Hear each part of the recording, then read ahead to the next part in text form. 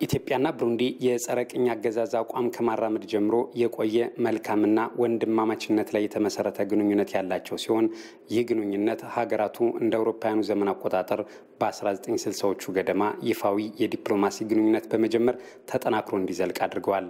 ሀገራቱ የላይኛው የናይል ተፋሰስ ሀገራት መሆናቸው ግንኙነቱ ተፈጥሯዊ በሆነው በናይል ወንዝ የተሳሰረ እንዲሆን አድርጎታል። ኢትዮጵያ የሰላም አስከባሪ ኃይሏን በብሩንዲ እንደ አውሮፓውያኑ ዘመን አቆጣጠር በ2003 በማሰማራት በሀገሪቱ ሰላምና መረጋጋት እንዲሰፍን ትልቅ አስተዋጽኦ አድርጋለች። ሀገራቱ በክልላዊ አህጉራዊና ዓለም አቀፍ መድረኮች ተመሳሳይና የጋራ አቋም በማራመድ ተቀራርበው በመስራት ላይ ናቸው። የኢፌዴሪ ፕሬዚዳንት ሳህለወርቅ ዘውዴ ለሁለት ቀናት ይፋዊ የስራ ጉብኝት ብሩንዲ ቡጅምብራ ከተማ ገብተዋል።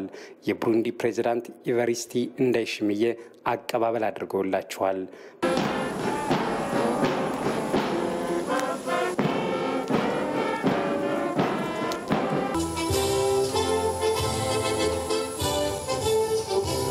ፕሬዚዳንት ሳህለወርቅ ዘውዴ ኢትዮጵያና ብሩንዲ የቆየ ወዳጅነት እንዳላቸው ገልጸዋል።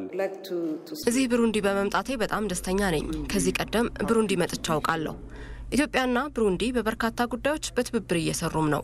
የሁለቱን ሀገራት ግንኙነት ማጠናከር በሚቻልባቸውና በቀጠናዊ ጉዳዮች ላይ ውይይት እንደሚደረግ ፕሬዚዳንቷ ገልጸዋል። ኢትዮጵያና ብሩንዲ የቆየ ወዳጅነት ያላቸው ሀገራት ናቸው።